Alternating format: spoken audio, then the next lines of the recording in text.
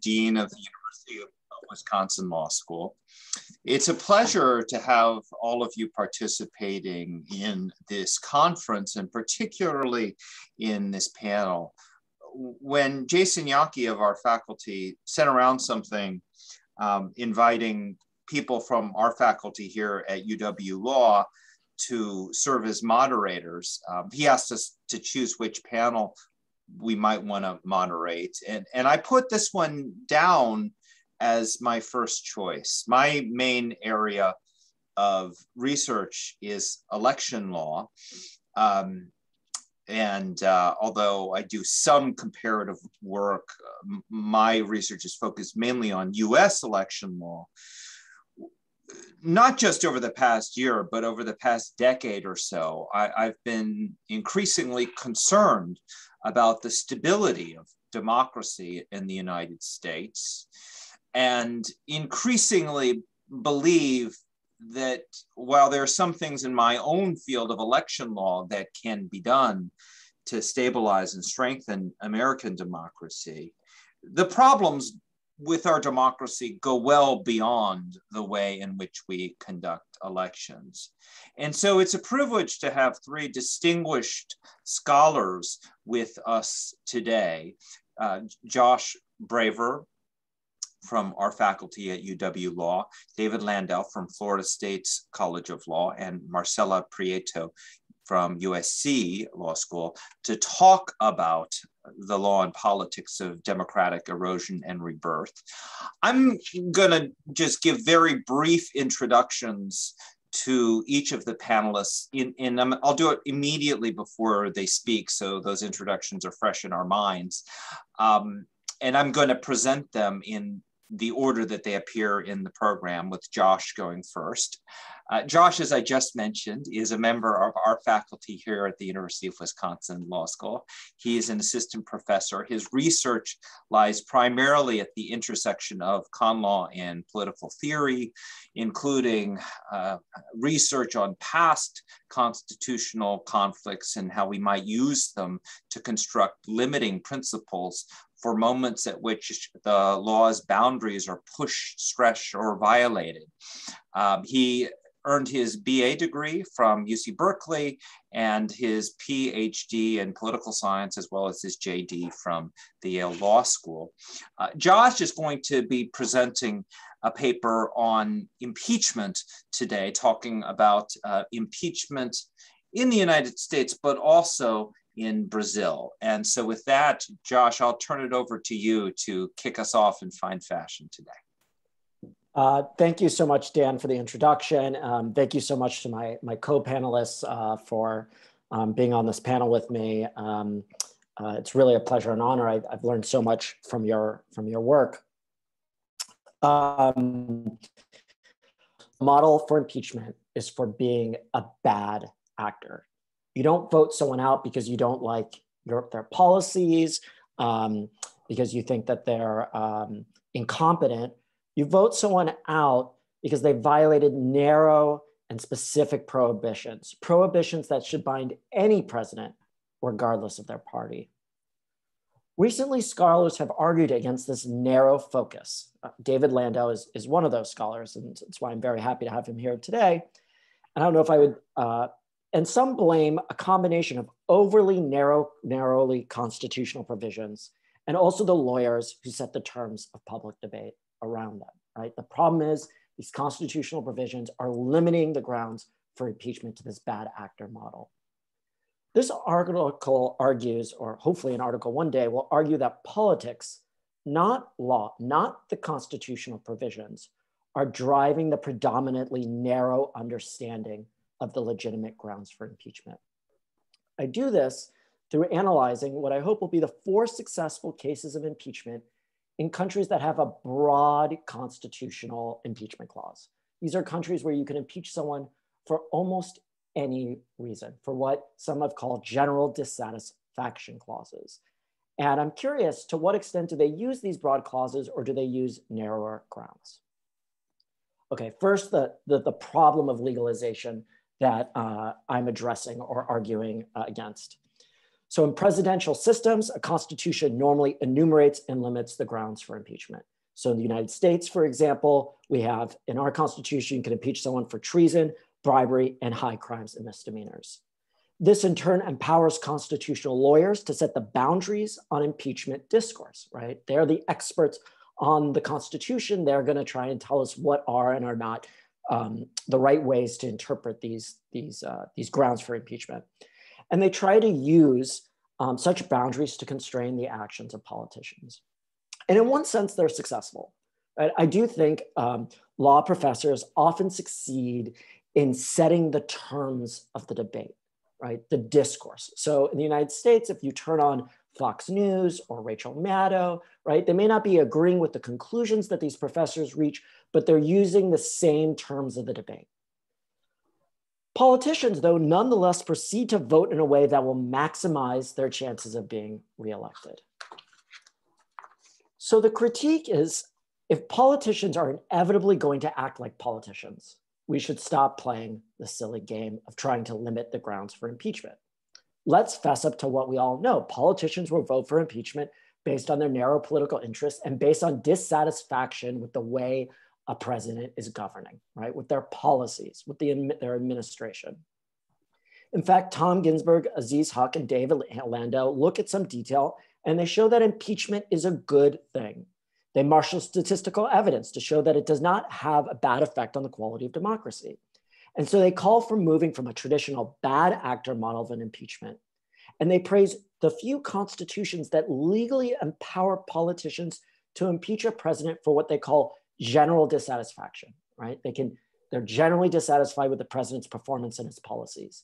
And they say that allows a reset of the political system. Broad and political impeachment are a positive good that pose little threat to democracy, according to Landau and his co-authors. Constitutions thus should be drafted to allow impeachment for disagreement over policy. I am a little skeptical about whether this would work out in practice. And to illustrate, I discuss all four cases of successful impeachment since 1990 in countries that have a general dissatisfaction clause in their constitution, right? So these are countries that have a general dissatisfaction clause and they've had a successful impeachment uh, since 1990. And there have only been four countries, Venezuela in 1993, South Africa in 2016, Brazil in 1992, Brazil in 2016, and maybe Brazil like tomorrow or in the next couple months. Uh, we'll, we'll see. And what I think I'll find, um, and this I, will show is the case in Brazil in 2016, is that in each example, politicians chose narrower grounds than general dissatisfaction to impeach the president. And I'm curious about the political logic behind this. So this paper's at an early stage. I've only begun taking a look at Brazil, which is what I'll talk about here. And in Brazil, we do find this mismatch between the broad options available, most charges chosen. So in 2015, the Brazilian political system is mired in a deep legitimacy crisis. The economy had entered into a deep depression, spontaneous protests seized the streets, and corruption scandals had enmeshed all of the dominant and rival political parties.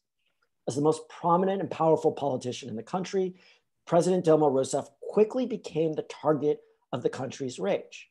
And this rage was channeled through impeachment. But the channeling was peculiar.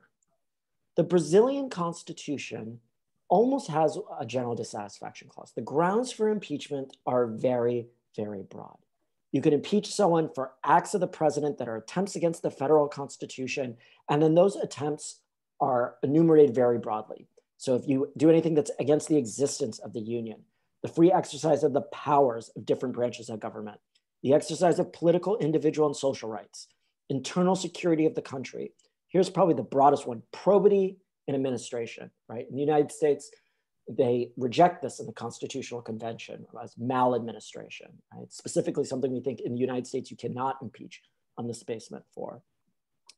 The budget law um, and compliance with laws and court decisions. So I think it's important to keep in mind just a few of these um, probity and administration, just how broad that is, the existence of the union and the budget law.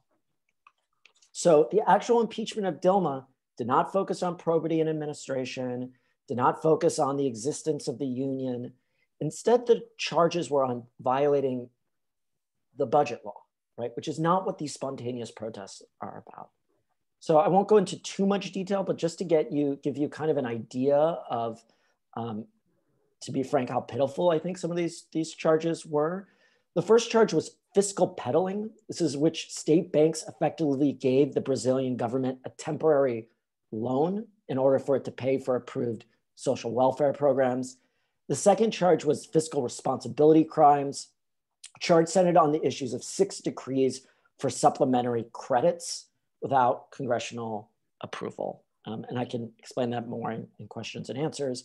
And I don't, maybe pitiful is too strong. I don't want to completely trivialize these charges. I think they are infractions of the law. I think they're infractions that by no means are unprecedented, but that went beyond the practice of previous governments. Nonetheless, I think there is substantial reason to doubt that they are actually impeachable offenses. And more importantly, they have little or nothing to do with the public's complaints about the poor state of the country. So, what was really going on? Why this mismatch between the possibilities of why you can impeach and the actual grounds? And one thought, and I, would have to go through more detail, but one thought is that it has to do with protecting um, members of Dilma's coalition. So the Brazilian political system is extremely fractured with a large number of political parties. And to wield power effectively in Brazil, presidents form coalitions with parties that are rivals and have incompatible ideologies. Rousseff's government was no exception.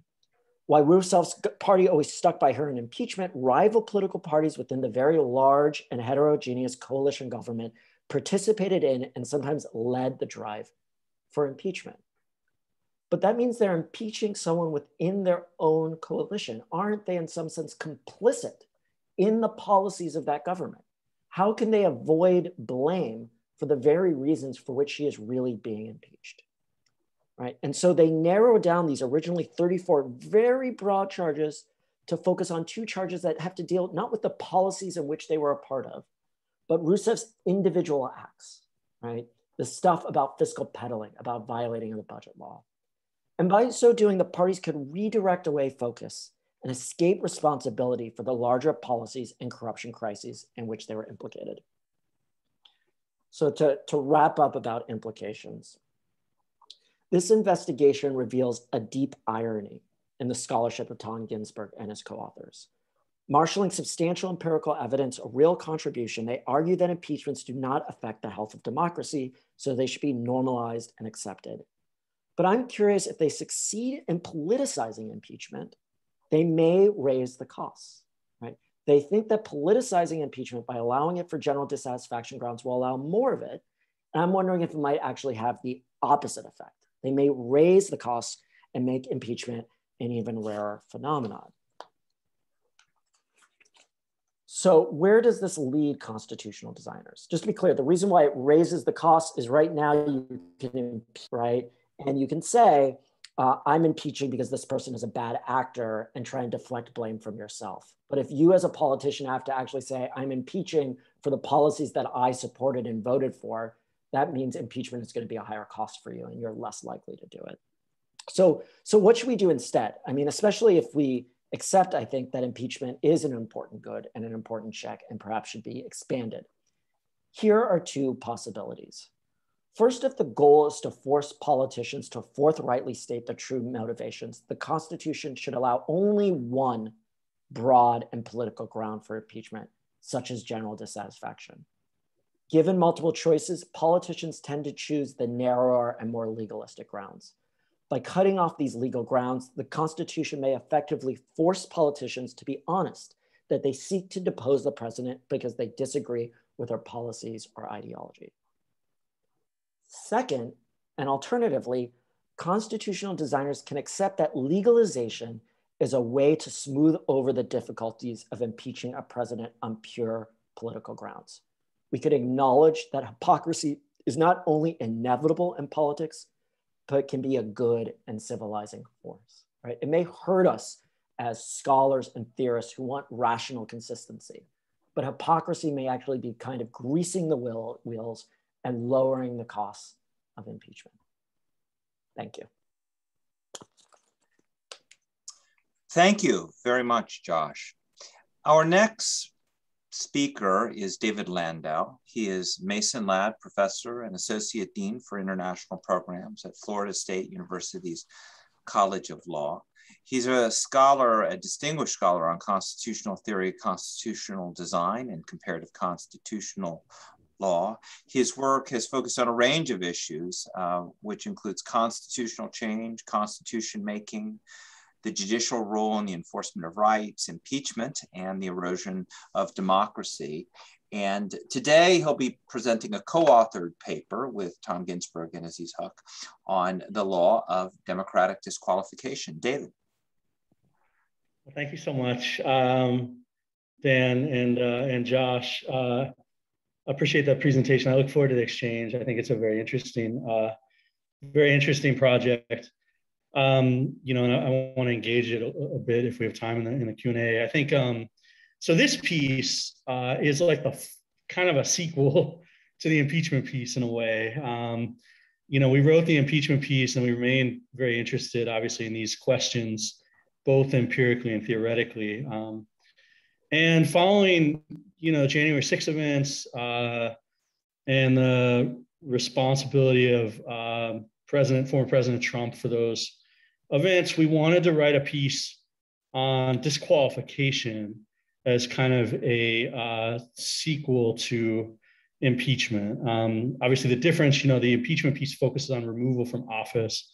The disqualification piece focuses on essentially being disqualified from seeking future office, right? And so we try to do a few things in the paper. Um, the first is to kind of map descriptively the landscape of these provisions around the world to bring together a bunch of stuff much of which has been heavily covered by scholars, but to try to kind of bring it together in one paper and look at what the what the matrix of disqualification mechanisms looks like. Uh, and then the second is to kind of think a little bit normatively about what uh, optimal disqualification regimes might look like, both comparatively and within the US, right? Um, and so that first piece, you know, what we develop in the paper is kind of a matrix of um, of, of disqualification rules. Um, like any typology, I think it, it, it kind of breaks down a little bit if you press on it too much, right? It's a rough approximation, but the idea would be, you know, you could think of two axes essentially, um, retrospective versus prospective, prospective focus. In other words, backward versus forward looking as the focus of the rule. And then individual versus group right? Uh, so are you focusing on individuals or are you focusing on, on, on a broader group? Um, and I think like, so, so then you can kind of fill out each, each box. Um, uh, so the, at the group level, retrospective, you have things like lustration rules, right? That attempt to disqualify groups of actors for affiliation with a prior regime. You often see this in, in transitions um, to, to democracy, for example. Um, pro prospective uh, group, you see things like uh, party bans, which often focus on the danger that a given party or militant democracy type provisions, which focuses on the danger that a given party or movement poses to a democratic order. Uh, then on the individual side, retrospectively, you have things that are kind of uh, linked to uh, impeachment mechanisms. Um, where you can disqualify in conjunction with impeachment. Both the US and Brazil, for example, have uh, disqualification rules that are closely linked to impeachment procedures. Um, and then you can have potentially non-political pathways to reaching the same results, right? So you can have uh, administrative or judicial type of determinations that disqualify uh, individuals, sometimes on quite broad standards. Um, in the Israeli case, sort of, you know, uh, lacking good character, right, and things along those lines that have been used to disqualify officials from seeking or remaining in office. Um, finally, kind of a prospective individual tool, uh, you have uh, term limits, right, which seek to disqualify individuals from office um, based on future damage that you might do to democracy based on being in power for uh, having already been in power for a long period of time. And so we kind of take that typology look at all of those uh, examples, try to kind of draw them out uh, within the piece. Um, and I think what we find is they're all problematic, right? Of course, comparatively, but they do all seem to go to a pretty widely felt need um, for some kind of disqualification rule in the system, right? So you've got, it starts to flesh out a normative tension where, which is familiar, I think, where you need these mechanisms as defenses of democracy. It's widely thought within modern democratic orders that you have to have these boundary conditions. Um, but at the same time, obviously, all of these things pose their own dangers to democracy, right? And it's not hard to find examples of where they've been used for essentially anti-democratic rather than pro-democratic ends. It's clearest, I think, with both lustration and um, and uh, militant democracy, where I think the problems are familiar, right? Uh, there's a there's a, a risk with respect to both of those that they become kind of too broad, that you start to disqualify actors um, who like weren't closely affiliated with regime. You might do that in order to eliminate political rivals you might do that out of a genuine sense that there's a taint, but in a way that nonetheless affects the democratic order and also the kind of the practical capacity of the state, right? I mean, you think about events like the, the stuff in Iraq um, as a good example, maybe of the of the latter condition. And Eastern Europe is, is or, or, the post-Soviet world is kind of rife with examples of lustration causing uh, causing these these kinds of these kinds of problems in some cases. A related problem is what you might call kind of normalization. Something that starts out as kind of transitional, then becomes a permanent feature, right, of the political order, um, and doesn't disappear, right? It's kind of expected as a piece of the politics. Um, and so there's a there's a question of like when to turn these mechanisms, which are, I think, fundamentally transitional, kind of off, right? Uh, and I think something somewhat similar happens with militant democracy, although we don't envision it in quite the same terms, um, partly because it is a little bit more prospective than uh, lustration. But you, you, have similar risks, right, of, um, you know, the, the, literature and, and case law is rife with examples of uh, militant democracy being used as a way to eliminate um, political opponents, right? There's a risk of kind of uh, overuse or lack of proportionality in use. I think of the, the South Korean case, which banned a small party that had, you know, for alleged kind of ideological links with North Korea is an interesting example of that potential uh, logic. Uh, and then you have the same question of kind of, are these mechanisms transitional or kind of normalized? And I think if you look at Germany, which is kind of the modern paradigm of these sorts of provisions, right, you do see maybe that kind of a life cycle where the idea is as the as the system normalizes um, the the need for these kind of provisions um, may go down. I mean, you, you, you see that kind of the most recent the most recent German case. At least that seems to be one of the assertions the court is implicitly is implicitly making. Uh, the third and fourth categories, the individual categories, uh, I think are also very interesting. They raise dangers that are related, although I think somewhat somewhat different, right? Um, so the impeachment mechanism. One of the things we said in our earlier impeachment paper uh, that Josh I think picked up on is impeachment's quite rare, right? So it doesn't it doesn't happen frequently uh, in any you know in, in most presidential democracies. It's kind of a, a rare event, and disqualification, if anything, seems to be harder when it's connected to impeachment. So you know you look at the the course of the U.S. Uh, the successful impeachments generally involved uh, federal judges. And interestingly, like many of those actors weren't disqualified, right, from office. They were just removed. Uh, the Brazilian impeachment with Rousseff is also very interesting in that she was impeached, uh, but not disqualified from seeking future office, right? She was removed from office, but not disqualified. So there's a question as to how well this legislative route, I think for some of the political considerations that Josh is laying out, how well that works effectively as a way to disqualify. The alternatives, which some countries do have, are far more robust. When you take it outside of the legislative sphere and make it an administrative or judicial tool, there is a possibility of having a much more robust mechanism. Uh, places like Colombia, Pakistan, Israel all show this, right? Where there is a pretty active set of judicial or administrative actors involved in disqualifying uh, both elected and non-elected officials. Those raise their own risks, uh, but obviously lack of, lack of kind of activity is, is, is not one of them. So it does seem like if you take this out of the legislative sphere, you get, you get a more active uh, disqualification mechanism. Term limits finally, it seems to us, right, particularly when you're talking about the chief executive, work pretty work reasonably well as constraints, right? They have some advantages over the other over the other mechanisms.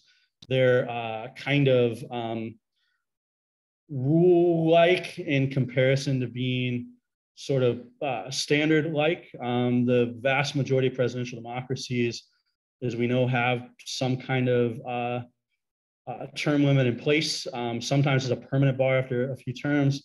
Sometimes it's a temporary bar right after serving one or more terms. Um, but of course, one of the risks you face with term limits as a disqualification tool is the frequency of evasion, right? And there's a fairly recent literature that shows evasion attempts are not uncommon and they pretty frequently succeed. Um, so what we want to, we kind of map out this comparative matrix of, of what disqualification regimes look like and then try to draw some conclusions as to what this would be normatively. I think that piece is quite hard, right? Um, but we want to do two things kind of map out comparative implications and then map out more specifically implications uh, for the US.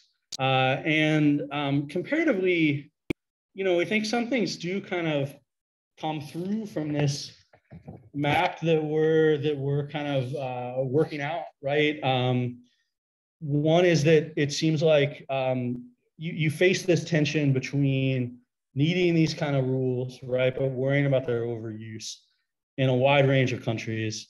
Um, one way to tackle that effectively, we think, is to have multiple pathways for disqualification um, and to actually have, if anything, at least some of those routes be non-political routes in the sense of they don't run through a legislative body, right, but they run through judicial or administrative actors. That that responds better, we think, to the range of modern threats uh, to, to the democratic order.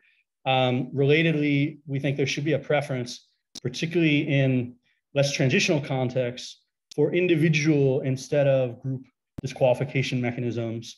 Um, we think there ought to be a mix of rules and standards, uh, but perhaps that the system ought to lean in some ways towards rules, right, which are easier to enforce. So an advantage of a term limit is its rule-like nature, um, which reduces susceptibility to things like abuse. And finally, we tend to think that temporary disqualification rules uh, are often both more effective and make more sense than permanent disqualification, right, as a tool. Um, so you would want to potentially disqualify for a period of time rather than disqualifying forever. And you see variants of this around the world with, with all of the different types of disqualification mechanisms that we look at.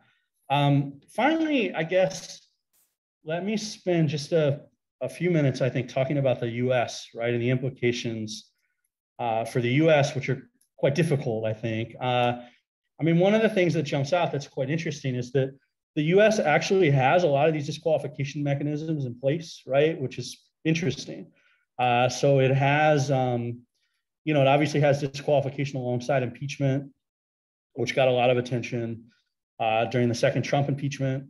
Uh, it has a lustration like mechanism, right, which is Section 3 of the 14th Amendment, which allows for uh, potential disqualification of a kind of class, right, based on uh, the insurrection and rebellion standard that shows up in that in that article and was obviously linked very closely to, to the to the Civil War. Um, and then uh, it also, of course, has a has a term limit, kind of prototypical in fact, most common term limit found around the world, which is the you know 22nd Amendment, two terms and you're out um, uh, forever. Uh, you don't see obviously militant democracy party banning uh, provisions in, in the US, at least in that kind of direct sense. So we ask, you know, to some degree, like, what, what could you do in the US? And I think the suggestions range from the maybe more realistic, albeit not particularly realistic in this political context, to fanciful, right, but kind of interesting uh, to think through. Um, and so we start with stuff that wouldn't involve um, wouldn't involve formal constitutional amendment. Um, and we think that, for example, Section three of the 14th Amendment, if revitalized and kind of thought about in the first way, in the right way, could do chunks of what uh, we suggest would be closer to a kind of optimum disqualification regime, right? Even though it's a very old provision, even though it was linked to a particular transitional context, and even though, as we point out, lustration provisions are dangerous, right? Uh, they can be quite problematic. But we think that you know what would be useful potentially would be a congressional kind of framework statute. This power, we think, you know, that seems to be pretty clearly explicitly given within the 14th Amendment uh, that would give Congress the ability to flesh out, elaborate on the insurrection and rebellion standard in a way that would uh, do a better do- job of responding to modern democratic threats. So flesh out the standard uh, to clearly indicate, for example, that things like uh, election subversion are covered, right? Uh, because I think one of the problems with the standard as written is that it may not cover a, a lot of uh, a lot of uh, modern threats to democracy. Um, relatedly, a statute could do a lot with the standard, with the with the kind of uh, the process. Um, and there's some analogs here. Um, after, you know, I, I, think for events after the Civil War, where the provisions were applied, albeit relatively briefly, right, and relatively lightly in most cases, but uh, it seems to be pretty clearly within um, congressional power to figure out the sort of process by which disqualification would succeed. Uh, the analog is to a relatively um, kind of judicialized process rather than a relatively political one that would be led by Congress. And we think that that kind of judicialized process could have some advantages, some problems too, obviously, right? So one thing that I think the paper helps think through is ways in which the 14th, uh, Section 3 of the 14th Amendment could be used to create a relatively coherent, uh, retrospective, but individual rather than group-like uh, set of norms that could be used to help defend democracy. Uh, the second point is related to the 22nd Amendment uh, or the, the you know the, the term limit essentially, right? Which is to say that I think that comparative experience suggests that there's complacency in the U.S. about the possibility of uh, evasion um, or tension with respect to the term limit. We haven't seen it directly yet, although I mean, if you followed uh, discourse in the last administration closely, you would see statements that would be alarming. I think, right, vis-a-vis the term limit. Uh, and it's not clear, you know, like who would enforce the term limit at the end of the day, whether it's a, there's a pretty reasonable risk that would be deemed a political question, for example. Um, and so I think here too that there's room for things like a, a framework statute that would kind of clarify mechanisms of enforcement uh, and may be helpful. Um, now, those are modest, relatively modest suggestions. Even so, they feel unrealistic, to be frank, right? They're uphill, they're uphill climbs, I think. Um, one thing I think we would we agree that we wouldn't want to see. There's a recent paper by Miguel Schor calling for militant democracy mechanisms in the U.S. It's a really interesting paper, but we think that you know if you if you think through the risks and also the tension with the First Amendment in the U.S. context, uh, it's you know the party banning mechanisms in a democratic order like the U.S. is uh, probably bears more risks, right, than than reward. So I think like that's the piece of the matrix we probably wouldn't favor bringing in. If you got more ambitious and thought about constitutional amendment, um, you could, I think, imagine a kind of reimagining of the of the system. And there, I mean, just to sketch it very briefly, what we would, what we think may be a good idea is a kind of decoupling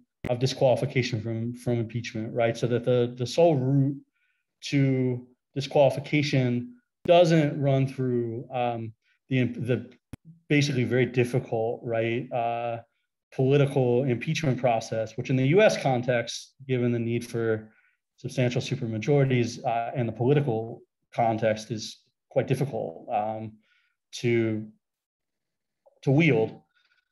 Uh, and so the alternative um, you know, we, we would suggest would be something that, as you see in a number of other countries around the world, sort of decouples the two and uses uh, judicial administrative processes as a potential supplement for disqualification. That raises substantial risks, right? I mean, all of these systems we look at have problems uh, with with respect to those mechanisms, but um, it would also allow, I think, a more active process for disqualification in the in the defense of democracy. Right. So that's essentially where we come down come down normatively, although normatively far more tentatively, I think, right, than our our descriptive uh, map. Um, you know, at the end of the day, I think if nothing else, I hope we succeed in highlighting disqualification and showing that all of these fragmented things, all of which have been studied, right, are actually part of that matrix. And it's and it's suggesting that this is one of the central uh, problems uh, that uh, modern democracies face, right, given the nature given the nature of the of the threats and the frequency of democratic erosion in recent years. Stop there. Thank you so much, David.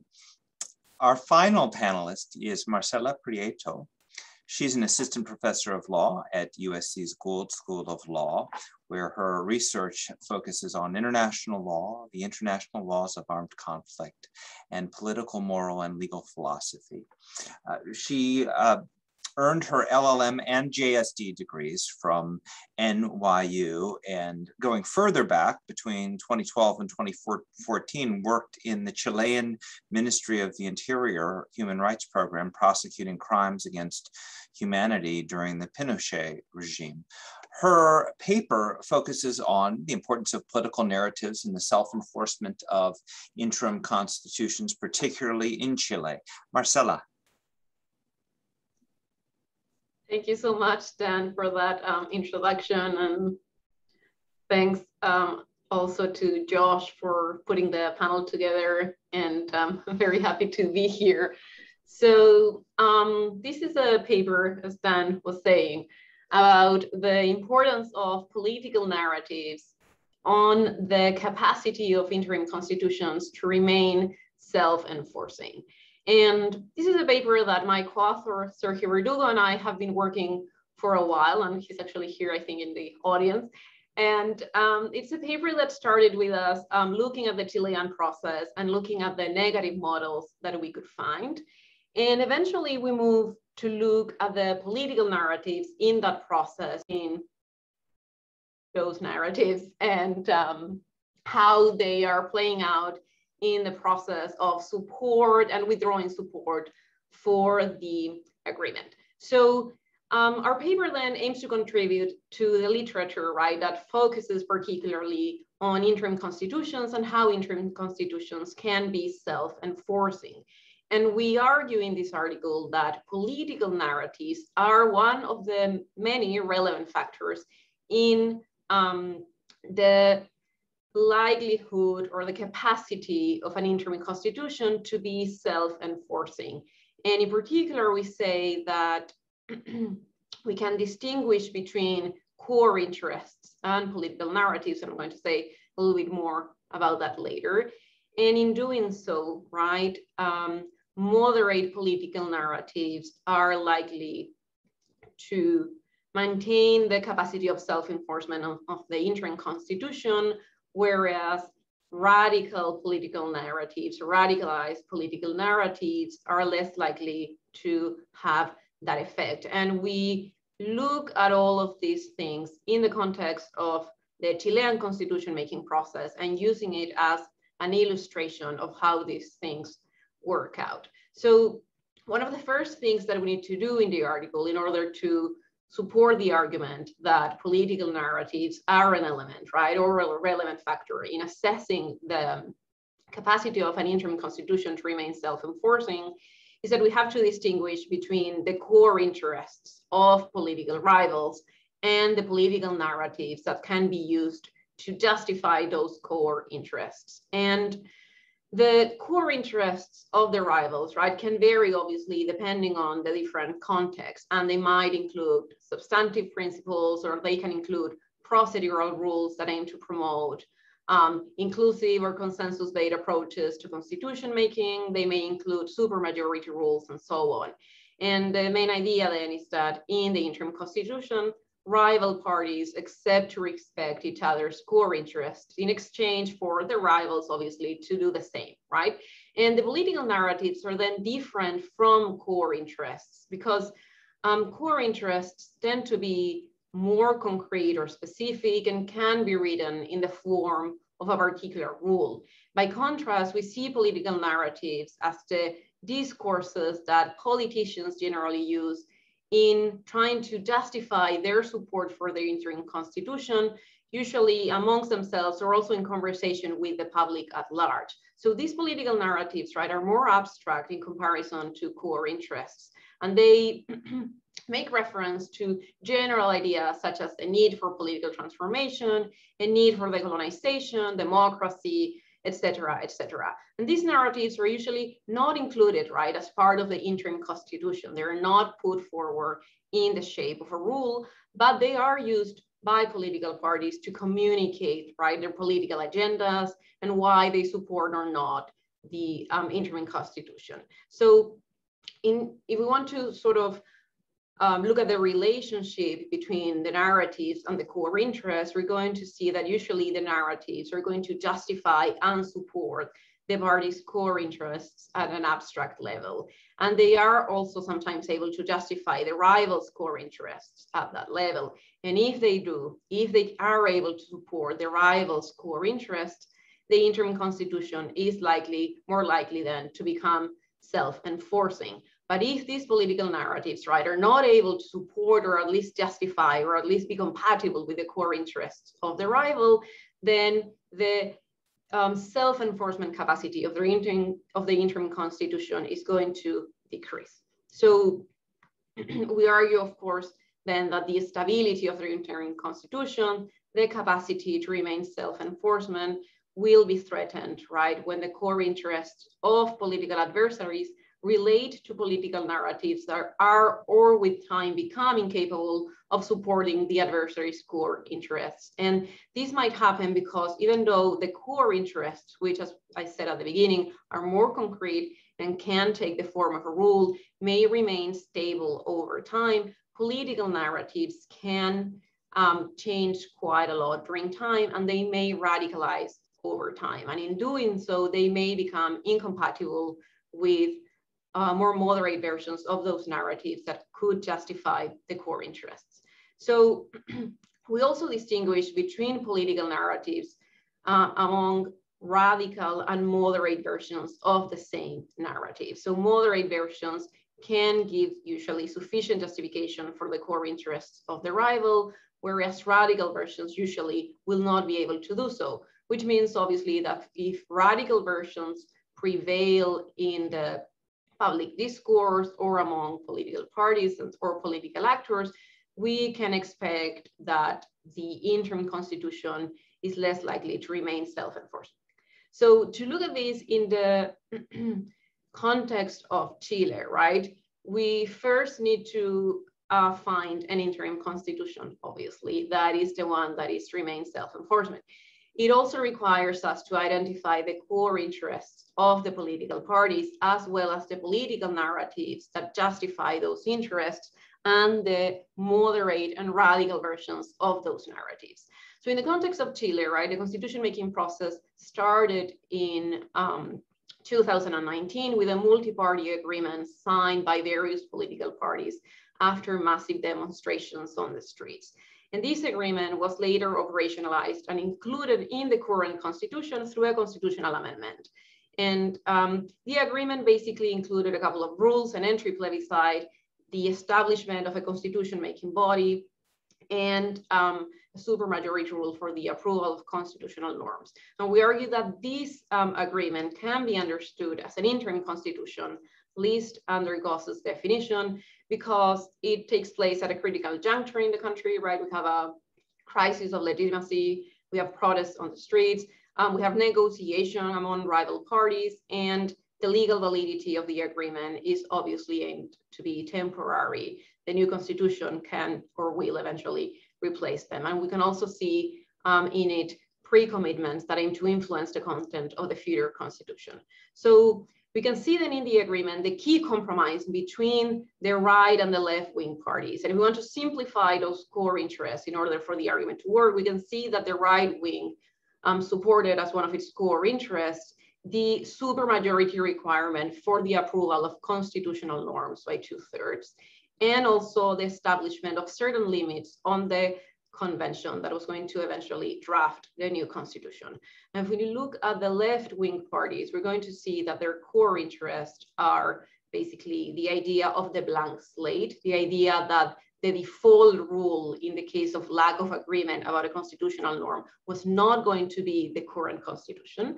And also as a core interest, just having a popularly elected body drafting the new constitution. Obviously, there are more um, it's possible to identify other core interests. We focus on this paper on those that are largely procedural, right? And if we look at the narratives that are um, right now taking place in the Chilean debate, we can see we identify um, on the part of uh, right-wing and center-right parties what we call evolutive narratives. These are political narratives that emphasize the need for continuity in both legal and institutional, the need for stability, multi-partisan agreements, and so on.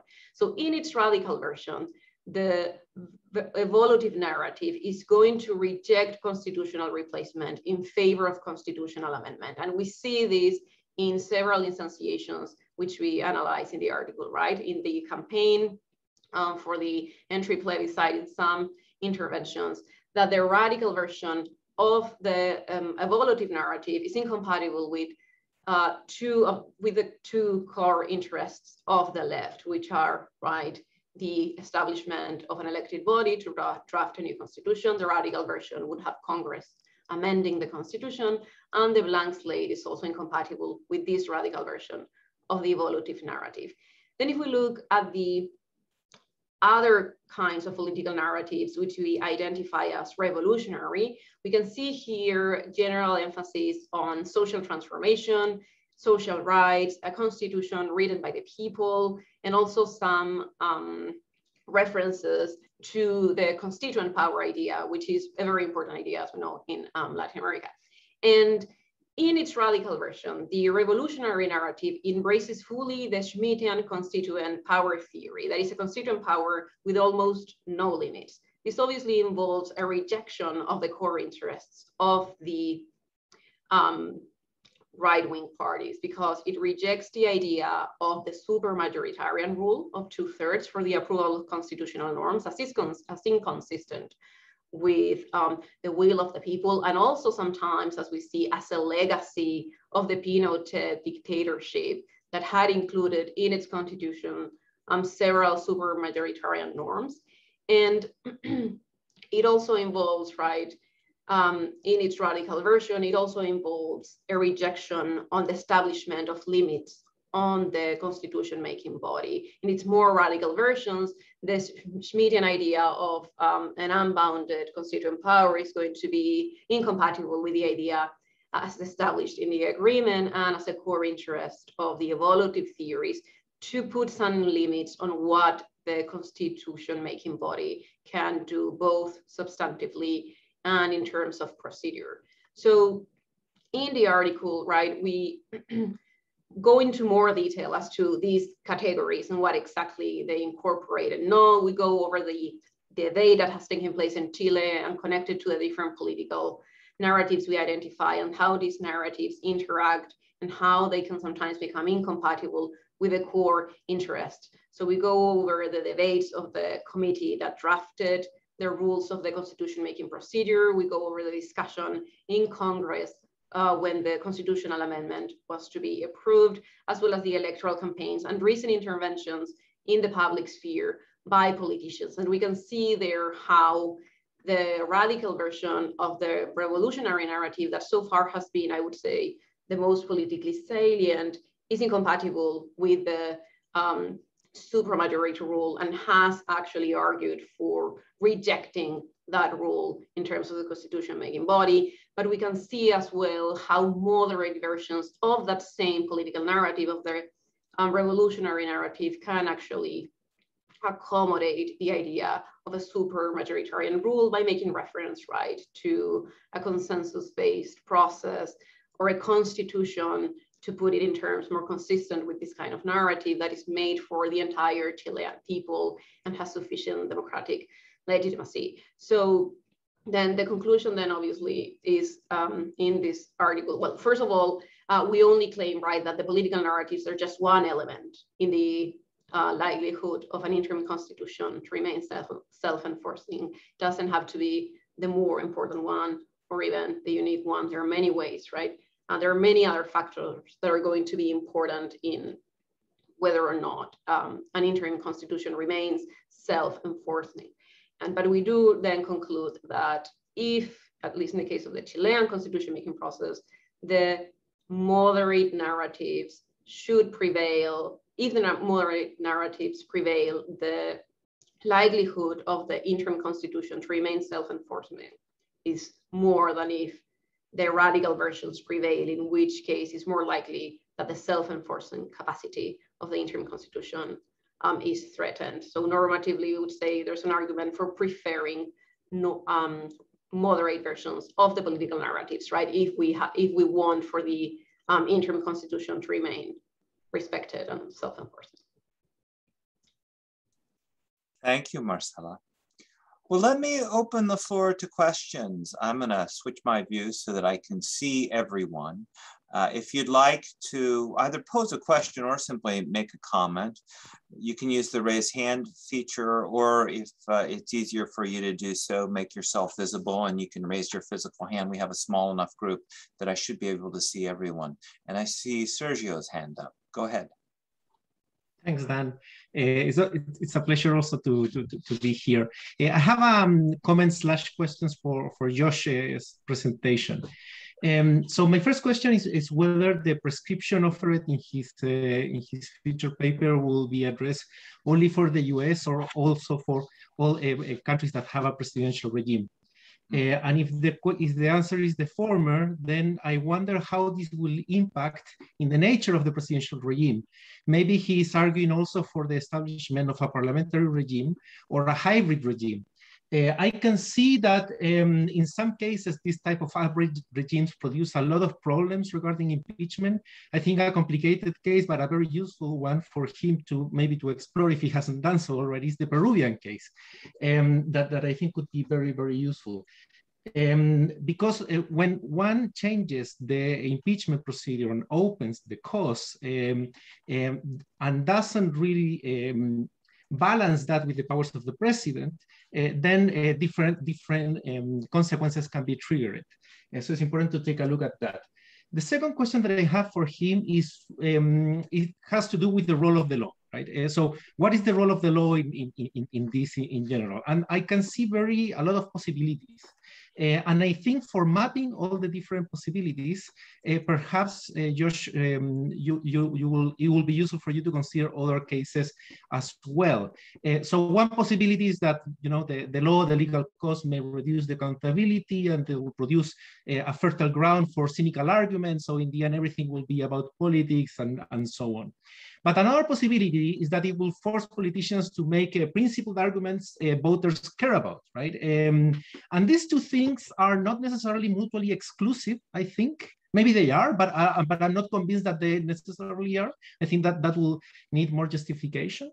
Uh, and I can see other possible advantages. I'm not necessarily convinced. I'm just playing the, the devil's advocate here. Other possible advantages of, um, of having narrower legal uh, causes. Um, I think that uh, it can force politicians to make serious arguments. It can increase due process um, if there's such a thing in, in congressional uh, procedures. Along with a free press and transparency, this can also increase the level of the public debate and deliberations. So it can also increase the level of accountability um, in front of a, of a, of a president. Uh, and it can also increase the transaction costs for doing it. And increasing the transaction cost could be useful if you want to separate these from, um, from judicial uh, procedures as well.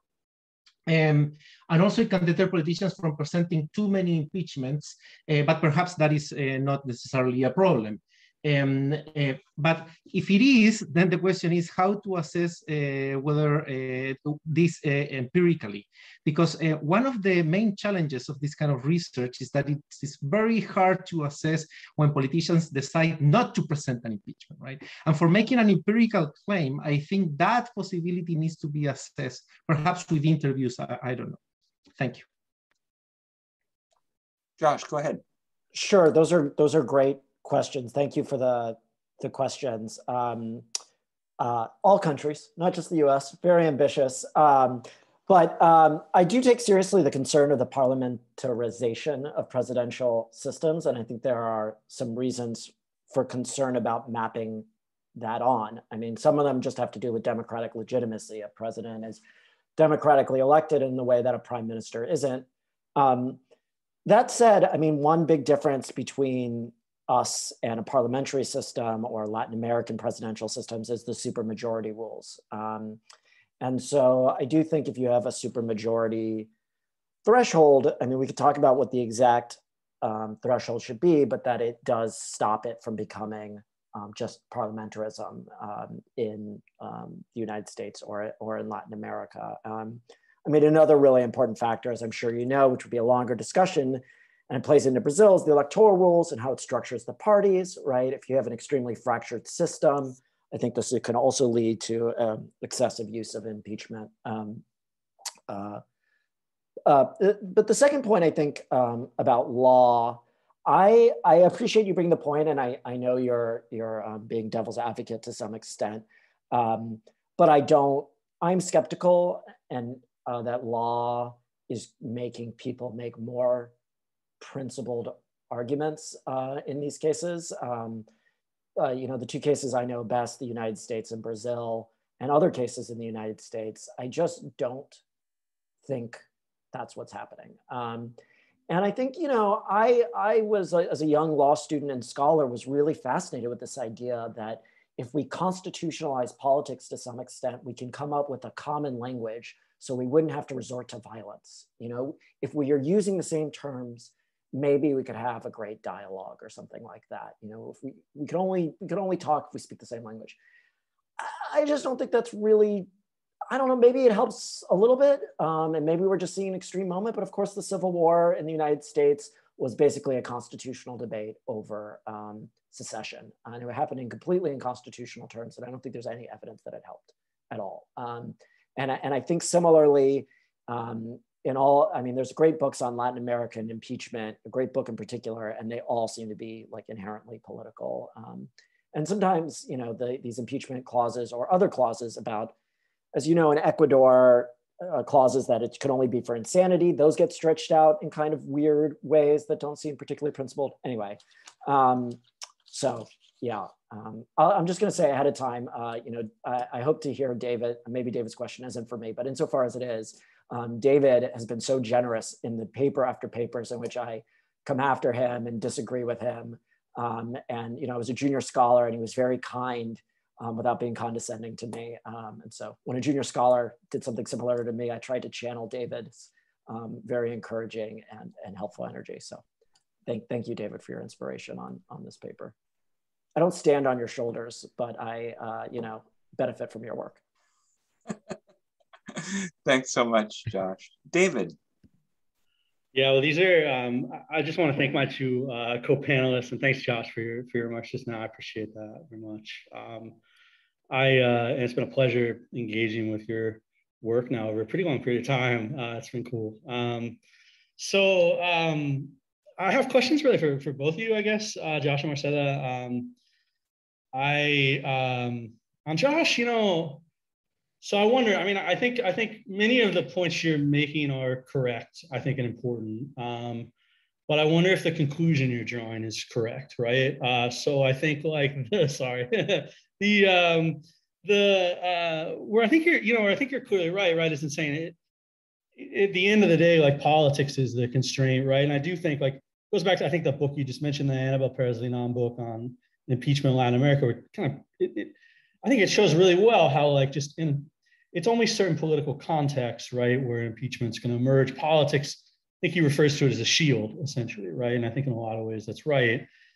I think though, with respect to the like with respect to the with respect to the the standard and the relationship between the standard and outcomes, um, I think I could, without huge amount of difficulty, I could certainly be convinced that the standard is not the most important factor, right? That there's other stuff that that goes on that, that supersedes it. Um, and that the and the politics is more important and if political actors want somebody out, they're gonna find a way. And if they don't, they're it's not going to happen, right? Um, I wonder about this idea, though, which is embedded that it's counterproductive actually to have a broader impeachment standard. I think that's less likely, right? I think, and I think, I mean, I'm thinking about the Brazilian case. I'm also thinking about the Paraguayan case with Lugo, right? Where I think, you know, the broader standard. So it's true, as you say, and I think it's an interesting fact that there's a push towards legalism often in impeachment. And I think it's kind of fascinating because like you don't see that at all, of course, with a no confidence vote, where it's just seen as politics, you know, going back to this point of, of parliamentarization. Uh, and it's interesting that impeachment, even where the grounds are broad, actors tend to pull towards the legal. Um, I think that that that tendency itself is very interesting, I think, and worth exploring. But it seems to me that the breadth, the broader standard, even though it was not triggered, correct, in the uh, Rousseff impeachment or in the or in the earlier, you know, in the earlier impeachment, both focus more on law. Uh, even Lugo in Paraguay focused to some degree on law, but I, I still think, you know, after looking after kind of looking and thinking about those cases, it still seems to me that the broader standard did work, right? Uh, and so that could be wrong, I think, right? But I think the I think the possibility would be that implicitly that broader standard is still doing some work and still, in some ways, easing the pathway in situations where, as you say, like the Rousseff impeachment, the legal claims were terrible. I mean, they were flimsy. Um, a related point to that, and this goes to Sergio's question, is like risk of overuse. You know that there's risk of overuse of impeachment, and this is where where, we, where uh, Tom Aziz and I came down in the paper was really to say like that risk that we think is actually overstated, right? That uh, that outcomes post impeachment are pretty good democratically usually, uh, and that if anything, it's it's too rare, you know. And Brazil would be a great test case because it's getting to be awfully frequent. Um, it seems like is the is the Brazilian case overuse, and I we we can point to some uh, structural um, structural problems in the in the in the uh, Brazilian case the main one of which we, I think we identify in the paper is kind of um, the reset mechanism, right? If you want impeachment to act as a reset, uh, the way both the US and Brazil do it isn't great because it just kind of throws the VP into power rather than triggering a new election, right? And so that in Brazil, the aftermath of the Rousseff impeachment was disastrous because you had Temer in there who's a weak figure uh, and just kind of a creature of the various uh, coalition actors it's interesting, I think, to think about whether it would have been different if you had had a reset mechanism where you would have had a new election called right after the impeachment. Now, maybe you would have gotten Bolsonaro earlier. I don't know, right? But I think it's an interesting. In other words, there's there's ways you could have re-envisioned the design in Brazil that may have made a difference. Um, the um, uh, some, sorry, that was a long. I'm not sure that was a question or what, but that's a bunch of a bunch of thoughts. Um, Marcela, I think on, on, on your and Sergio's uh, paper, it's it, it's really interesting. I think it's fascinating. I think it does a, a really neat job of um, of trying to bring together the politics and the kind of theory of constitution making in ways that, well, I guess I guess both Josh and I've thought a lot about, right? Um, and um, I think the, the the comment I think I would make is, so I think one one way to think about the the line of thought you're pursuing um, consistency between pol- politics and discourse, right? But also politics is kind of constraint on discourse in a, in a sense. And so like, you know, there's a radical sort of Bolivarian discourse that shows up in Chile. But I'm curious as to what you think the risks are of uh, kind of overspilling of that discourse such that it you know the process gets run kind of off the rails right um because it's always seemed to me that like there's a check against that in chile which is precisely the political context right um maybe also aspects of legal culture to use a term that makes me not very comfortable right but i think you know I, in other words i wonder whether like we we are obsessed with these contexts where constituent power runs off the rails, me included, for, uh, probably maybe more than anybody. But it seems like in the Chilean case, like in a paradoxical way, because of the politics, there's a different risk. And the risk is kind of like actually excessive veto points in a way. And I just wonder then how you think about like the extreme way to take this would be that like the politics is the constraint and usually the politics is actually a constraint in a kind of dishearteningly uh, unproductive way, right? Marcela, why don't you take the question that he just asked, uh, that David just asked first, and then maybe we'll circle back to Josh.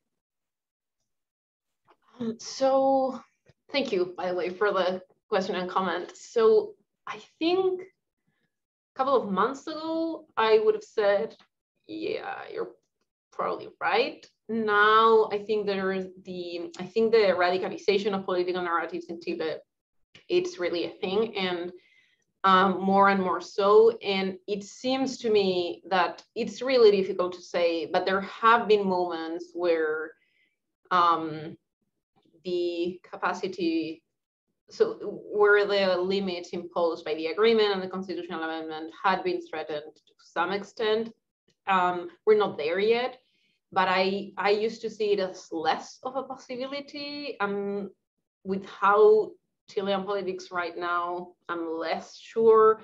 I think there's a tendency um, for polarization both ways. I mean, if you just look at the presidential elections, I think that's one indication when you have the far right candidate, right, gaining and gaining support as well as the far left candidate, which is really unusual in Chile in the past years. So I think I'm not sure. I think you're right, right? That up until this point, you, I would have agreed with you. Like we would see like politics itself and the discourse sort of containing itself, being a constraint and so on. I'm less sure at this time how things are gonna look. I think there's the possibility that they don't anymore, but I don't really, right? We see the radicalization, but I'm not sure what the explanation is. It's, it's really too soon to say. So I think I'm, I'm a little bit less optimistic and a lot will turn on what happens in the coming weeks. Yeah. Josh, did you want to respond to David's comment to you? Yeah, and and maybe I can ask a question too uh, if no one else is on the queue. Um, uh, David, um, again, thank you for your your your paper and and your your generosity um, in engaging about it. Um, I think you're. I mean, I think the central insight that I'd like to develop more um, is why is there legalism in the cases where it's the least needed by the constitution? Like what what is happening there? Um, and so i don't mean to say um, in response to sergio that like law isn't important. It's just it's not always law driving politics it's politics sometimes driving law right? Um, and and understanding that um, can help us think through how to how to draft the law itself um, right um, so um, I, is it the case though that um, even if they choose the more narrow legal option that the broader one is doing important work um, maybe in paraguay um, i don't i don't know. I'd have to think about it more. I mean is the idea that people are less upset about um, if you i mean yeah, I just I don't. I mean, it's so the idea is that the so one of the reform ideas I had was well, just like, I mean, I think on any of the reform ideas I have, I think it's fine to have a broad one, right? The issue is whether you're going to only have a broad one. So I think I'm on the same page with you. You know, keep the broad one in, right? But also have these narrow ones so that you can have the civilizing force of hypocrisy. Um, so I think that works well with my thesis for what it's worth. Um, my question uh, for Marcella and by extension for Sergio and then one for, for David. Um, I know Marcella and, and Sergio, you've been following Chile more closely than I have, but I have been trying to keep up. Um, and to me, it's, I mean, I, it's very good support for your paper, what's happening right now. Um, and, um, and I, I wonder if we are hitting the point of no return. Um, because as I understand it, we don't have a kind of dramatic moment like in, I don't know, Venezuela or Ecuador or Bolivia yet, but we're laying the groundwork for it. And we're not only laying the groundwork for it by like a bunch of talk or radicalization, they are violating the rules set out by the Constitution about how this is supposed to be done, right? The voting rule says one thing, and they have said another thing, right? And that other thing isn't like a huge change. It may not matter very much. It may never be used, but it's a violation of the rules. Um, and um, they've said, you know, why do we have the right to do these rules? Poder constituente originario, right? We have the original constituent power. Tell me if I'm wrong, but this is kind of what I've been getting from kind of trying to read uh, every now and then the Chilean papers. Um, so that means that the framework and and why it's such strong support for your case, I think, is that it's completely unnecessary for the core interests of the party because if it's a two thirds rule, they have the center left and the left have two thirds, right? The two thirds rule doesn't make any difference anymore because unexpectedly, the right wing party, Chile Vamos, got such a low number that they don't have a veto power. And that's what makes it, this is something I'm writing, so much different than in the American case, where by virtue of a consensus rule, right, Rhode Island keeps on blocking things. This makes it different than in the French Revolution, right? These are kind of the classic cases of constitutional violations where any, where these two estates the clergy and the nobles could block the third estate of commoners, right? And it makes it different than in Bolivia too, right? Which is the main real comparison for, for us and dealing with Latin America. So in a case in which it's completely unnecessary to try and break the government set rules and the supermajority rules by virtue of getting caught up in your own revolutionary narratives, they're starting to break them. Um, so um, yeah, I, I, am curious if I'm misunderstanding events and to hear more about them. For David, just uh, briefly, um, I like the paper a lot. Um, two questions. Um, one, I, I think it's probably consistent with your previous work, but in a lot of your work, you've um, evinced, I think, a very justified skepticism of courts or other non-political bodies being able to stop um, stop politics um, right? Especially, I mean, it's been in the constitution making context. Um, and in this context, it seems like you think port courts and administrative bodies can play an important role. And I can imagine a lot of different reasons why in this context that's the case, but I'm just curious to hear what your thoughts are. So, so for Marcelo and Sergio, do, do I understand the events correctly? Does it support your narrative more than more than we even realize? Marcella, why don't you respond and then back to David. Sure. So, yeah, so I think, so there are some indications that some of the rules, so I think the two-third rule has been spared and it might be partly because of what you just said, right? That perhaps surprisingly, the veto power isn't, isn't held by the people who planned for the rule to operate in a certain way, right? The right wing was supposed to get one third of the seats, didn't. And so the debate has um, moved a little bit, but not entirely away from that. I think um, if you take a look, so recently the convention approved the sort of rules of procedure for its functioning. And it preserved the two-thirds rule, though it didn't expand its reach, right? So it, it preserved, but it didn't, I wouldn't say it's a violation of the agreement, but there is a rule for which they have been fairly criticized, which is the idea that when a rule doesn't get the two thirds in the convention, there's been a proposal to take them to plebiscite. Even if the norm achieves, I think three fifths of the constitution makers, but not the two thirds, right? Um, they are trying to establish a plebiscite to overrule, right, the convention that will require possibly a constitutional amendment.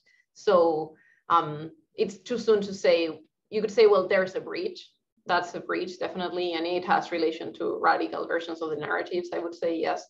Um, but it's too soon to know what will happen. It will maybe just be dead because if there's no constitutional amendment to approve the plebiscite, it won't um, go on. And um, there are other things as well that you would say, mm, this looks like a little bit of a breach of the of the initial norms. And I don't know if I was wondering whether Sergio would want to add up since we have him here.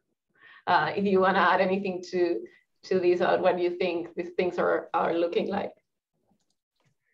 Thanks, Marcela. Um, yeah, if I may just very, very, very briefly um, to, to react to some of the things that David and, and, and Josh said.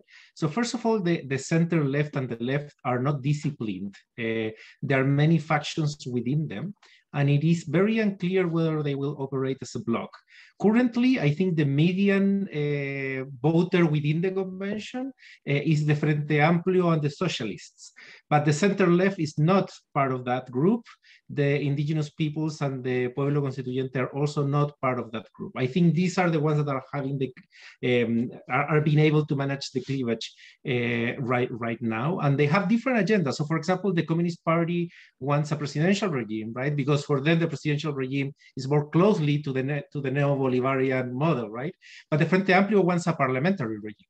Uh, so there are differences. Uh, those differences has, haven't been that important until now uh, because the convention has been focused more on the procedure than on the content of the new constitution.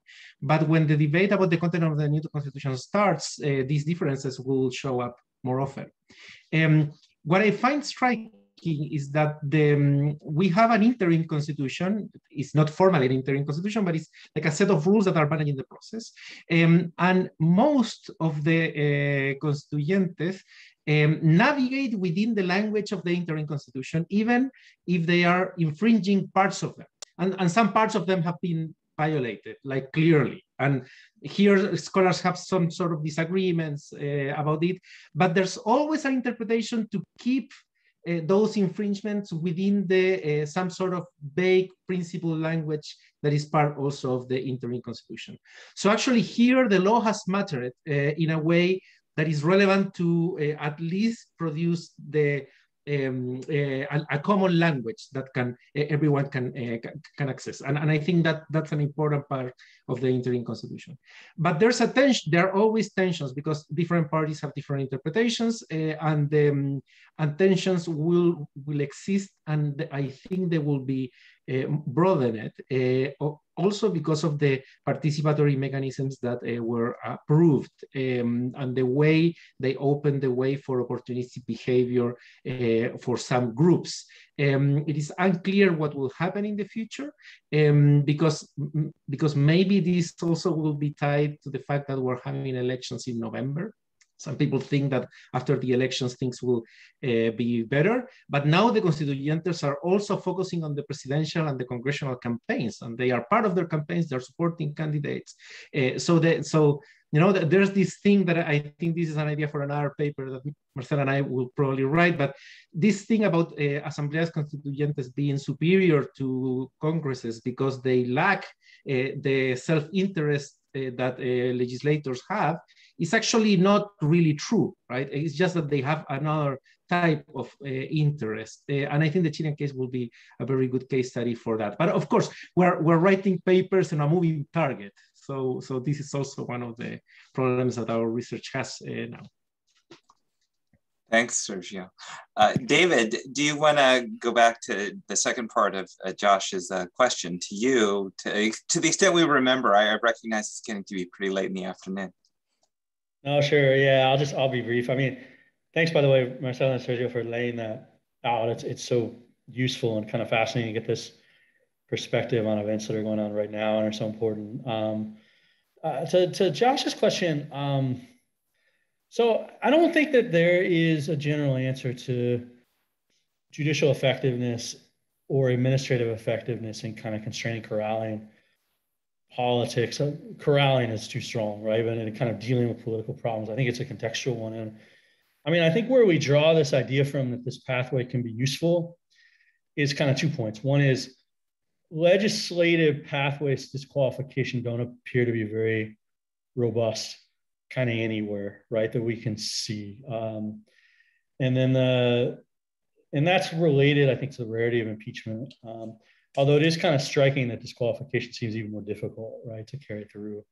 And then the other is that there are systems where administrative slash judicial actors are quite active. And I think that that's related to an attitude or ideology that I think shows up in a lot of systems that is worth attention, which is the kind of like um, the, I'm not sure exactly how to refer to it, like the the tainted political sphere ideology, I guess I would call it, right? That the political sphere itself is the problem, and that these actors are outside of it and can help to cleanse it. And that's a very powerful ideology in certain countries, I think. Um, it shows up as a, it's a comparative matter in both institutional design and practice. And I think, you know, so Israel, where you see this, so Yoav Dotan calls kind of like bizarre substitute for impeachment, which is just the court saying people, because of crimes, but also because of non-criminal conduct that is bad conduct, that they can't sit, right? And you have the court making these decisions places like Pakistan, which have very vague standards along the same lines in the Constitution. Uh, Colombia, where like, for example, the elected mayor of Bogota was removed from office and disqualified for botching the gar- the reverse garbage privatization for like re you know restatifying garbage collection very poorly, and the um, the general procurator of Colombia removed removed Petro from office. Ended up in front of the Inter-American Court actually, and he was reinstated. Um, but those are those, so those contexts suggest to me that there's at least not a general problem of judicial and administrative passivity, right, uh, in these contexts. And obviously, there's a there's a choice of institutional design, court or agency. I think the lustration example shows that those can operate quite differently actually in lustration regimes, the administrative route tends to be the most active. And the judicial route tends to be more concerned about trial like procedures that tend to slow down lustrations and, and stop them in a number of cases. There is a separate normative question as to whether having an active route is, is good and whether you can ameliorate the abuses of such a route, which exist in all three of the countries I, I mentioned by things like drawing drawing a good substance standard, right? Um, and I think it's a difficult question, but what I do think is true in the U.S. is like the prospects for uh, any other route bearing significant fruit are nil, right? I think, and I think the aftermath of January 6 showed that um, that the legislative route was not going to function. Um, like a reinvigoration of, of Section 3 of the, of the 14th Amendment um, maybe, right? I think if it was drawn right, and that would be there. The, it's it's it's there's a lot of legislative power there, but ultimately you could uh, delegate that authority potentially. I think certainly to judiciary and maybe to an administrative actor.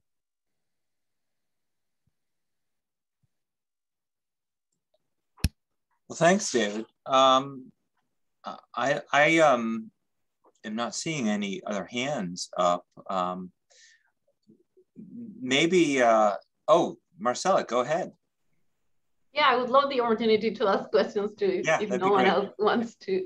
So, um, Josh, I was wondering um, about the, so you say, you know, if impeachment became more normalized on the basis of discontent, would you then perhaps, thinking about David's paper, um, untangle the, you know, removing someone from office from the future disqualification to hold office again in your proposal, right? Because otherwise it would be uh, kind of much, I think would probably lead you in that um, direction, right? And then for David, um, I know you said, you know, the categorization is always difficult and if you push on it, it's going to, but I was wondering, um, why do you think lustration is group-based? Because I would have thought, so obviously political party, obviously group-based, right?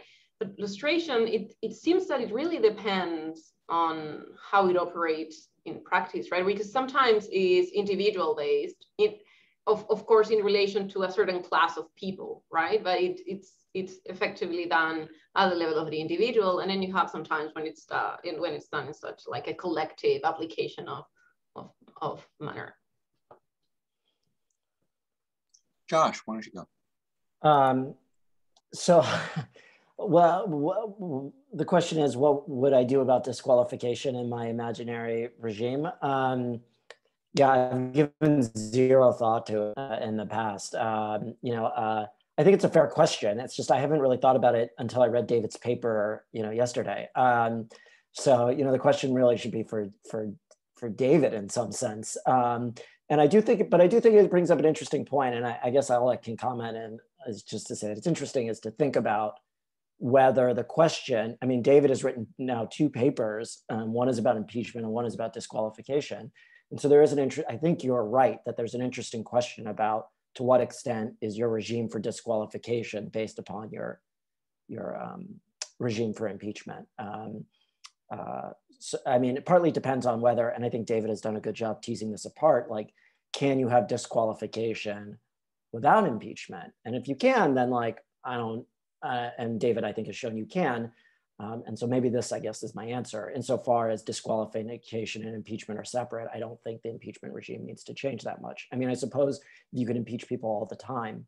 I mean, the last thing I'll say is, you know, uh, and David's other paper has done a good job showing this. And if you look in the Nixon impeachment and, and what's happened, people are trying to impeach people all the time, right? Like it's just the day someone becomes a president, there is going to be some bills to impeach them or, you know, within the year. Um, so I, I think that at least is some evidence that the fear that like this is going to unleash impeachment in a way that we currently don't have it might be a little overwrought. I mean, I, I can imagine some responses, which is like, well, it's just one one crazy you know, person, but um, so that's something to think about. I, I'm also going to take the liberty to just ask a question, if that's okay, moderator, um, which is just to push back against Sergio a little bit because um, so or ask more questions, which is, you know, Sergio is saying, look, these aren't real violations of what's happening in Chile. But to me, I, and I'd be curious to hear what the legal explanations are going on. And, and I'm writing something about this right now. But to me, there are three violations. And, and I'd be curious how all three of these can be explained away. Violation number one, right? The Constitution, the interim Constitution, the amendment says you're going to approve these rules by two thirds and um, they approved the general rules by a majority vote, even if they approved saying we're going to hold on to a two thirds rule. Violation two, some of these things we have this three fifths option, right? And I understand maybe it requires a constitutional amendment. Violation three, we're doing this by virtue of the original constituent power, right? We're sovereign, that's what that means. And the old constitution said you cannot declare yourself to be sovereign. So, especially that third one, which is mostly symbolic, and the first one, where they're vote by a majority. I'd be curious how that can be explained away legally. Um, I'm all for these kinds of important explanations that um, hold us together to a legalistic framework. Um, but I think just as a matter of straightforward legal analysis, those seem like violations of the interim constitution. Let me uh, ask David to respond first to Marcella's earlier question and then turn it over to Sergio and Marcella if she likes to respond to Josh. David. Cool. Um, thanks so much. Yeah, I would I would say also with with with Josh just very briefly on the on the separating the two. Like I do think one thing that's fascinating is how often systems, when decision makers are asked to make a choice, themselves decouple the two routes. Like I saw, I think that aspect of like the Rousseff impeachment is fascinating, right? That there was not the there was not the will there to disqualify, although there was to remove, um, and that suggests differences and and the tendency of that throughout U.S. history, right? I mean, Alcee Hastings got impeached and removed as a judge, and then elected to Congress, right? Uh, thereafter, um, and so it's fascinating how these how these and they are, I guess, analytically distinct, you know, uh, in both directions. Like, I think it's kind of reasonable to remove a judge from a judgeship, but say, but you can run politically, you know, because there's not, it's like, it's kind of bizarre that someone could win right at that point, but it's like they're, they're different, analytically different questions. Um, and it may go the other way, you know, as well, where obviously there are cases where somebody has never held office you would want to have disqualified, right? I think for other acts that they that they carried out. But the I think I point on the typology, you know, I think you're right. Like I think um, in in the sense that lustration can have a more individual or more group valence, I think is right. Um, I think where it is always kind of group like, and you mentioned this, I think, in the question, is that it's disqualification based on membership or affiliation, right, with a, with a regime and i think to that extent it's kind of it's kind of group like like it it doesn't in and of itself make a lot of judgments about the individual's conduct. It's more about the individual's membership in a certain set of ranks with respect to the old regime. Even that is not quite right right? I mean i think like if you look uh, the German example is a good one where there was like, there would be like a trial sort of process where then people would, there would be a discussion of what the responsibility actually was, right? Like, so it would become kind of individualized. And I think our proposal for what you might do to reinvigorate Section 3 of the 14th Amendment is also kind of um, along those lines, right? Because it's sort of like to, it, it we're very wary, I think, rightly, of group-based disqualifications in non-transitional contexts. But which means I think whatever you would do with the 14th Amendment, like we should be queasy about it. It looks bizarre, right, in modern terms, but it could be used and turned into something that, that, that is productive and more narrowly or individually focused, I think. Sergio. Yes, uh, thanks to Josh for the, for the question. So I think Josh's question uh, also helped us to um, uh, to strengthen the, the argument of our paper, right? Uh, because of the three violations uh, that um, that Josh uh, identifies, the third one is about a political narrative, right? It's about using the narrative of the constituent power, and the first two ones are actually specific behaviors targeting uh, the core interests. so using a narrative is, is not necessarily a violation of the core interest because you can respect a core interest while having a discourse about the constituent power. Uh, but you can have uh, two different, and as we can see, we have seen in the uh, in Chile, in the political discourse, at least two versions of the constituent power. And I'm not speaking about academic theories uh, you know, trying to sophisticate the idea of the constituent power or correcting it. I'm speaking basically about a moderate version and a radical version. The moderate version will say we have constituent power because we have sovereignty to decide the content of the new constitution, but the sovereign power uh, um, in this moderate version uh, lacks the, the power to alter the procedures. Uh, whereas the radical version will say, no, uh, the constituent power will empower us uh, not only to decide on the content of the new constitution, but also to decide on the procedures, right? And these two narratives are present in Chile, and they and both of them are in tension. Um, and uh, and most of the politicians that endorse these narratives, they need to compromise. You see people in the left uh, using both of them. You see people in the right saying, you know, there's no uh, constituent power here. We only see the relative power here, and so on. These, of course, are not sophisticated academic debates. These are just decisions that politicians make, but that are very important for the way in, the, in which they phrase these things. So, for example, the Pueblo Constituyente and the, and the Communist Party are typically using the radical version of the constituent power theory. They were never part of the interim constitution. They didn't agree to it, actually. They didn't endorse it. So for them, this is this is something they can, you know, throw away, even if it, that's illegal. But it creates a problem for the sectors of the left that endorse the agreement, right? So the moderate version of the constituent power is uh, better for them, so they can justify uh, sticking with the procedures. But then they need to compromise with the other part of the left, uh, even though they have a different discourse. Uh, but they are voting together in these procedural issues. Uh, so what they will say to justify the infractions that they have committed, uh, for example, in the first one, will be, you know, we voted by majority rule to respect the agreement we voted by majority rule to respect the two thirds. Uh, so we're respecting the two thirds. And they will say that, and that's very cynical, you know, and it's, but it's part of the political discourse. And on the on the second point, uh, regarding the, the plebiscites that they can call, uh, the standard answer that they will tell you is that they put, they included a clause saying that this re requires a constitutional amendment. Therefore, the Congress needs to do something. Therefore, they are not violating the agreement because they are amending the constitution according to the rules of, of the the of the interim constitution if you if, if you want to. Um, so so in that and the Congress, uh, the right wing has more than a than a third, and is likely to remain more than a third after the November elections. I may be wrong about this, but they are likely to remain that. So so um, so this second part, even though it goes against the the original agreement, it uses procedures that are endorsed by the by the original agreement.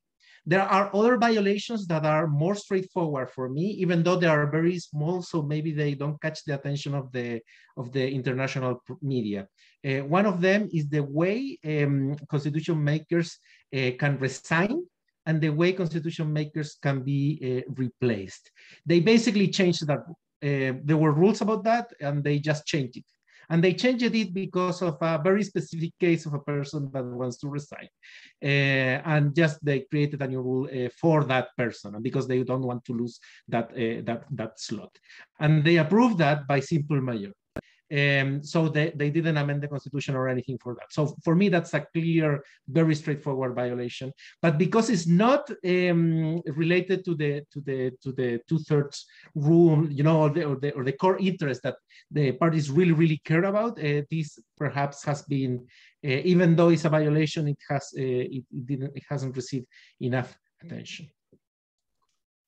Marcela, did you want to add anything? Um, I know. I think maybe I would say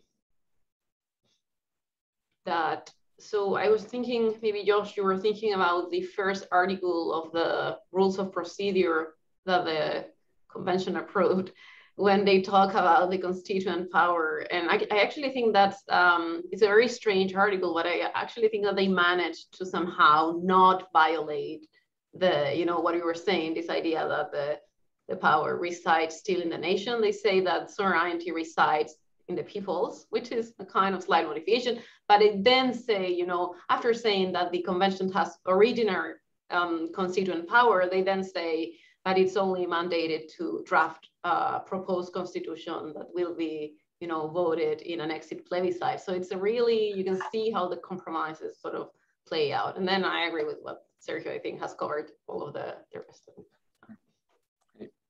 Thanks. Um, well, seeing no hands, let me just give any of the panelists a, a, last opportunity to make any final comments. We've got about seven minutes left.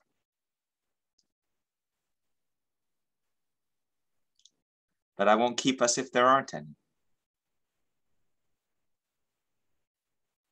Okay, well, let me then just thank you all for a really wonderful and stimulating conversation. I, I, especially appreciate the way each of you engaged with one another's papers, and, and that goes for you too, Sergio, as well as the three named panelists here. It was wonderful to have you, and thanks to those of you who stuck around for the full discussion. We really appreciate it. Hope you all enjoy the rest of the conference. If this, if we were all together here in person in Madison, I'd invite you all to go across the street to the Memorial Union for a drink. Uh, but uh, since we can't do that, I'll just have to raise a pretend glass to you all. And I see a, a hand up there from G. Chen. Go ahead.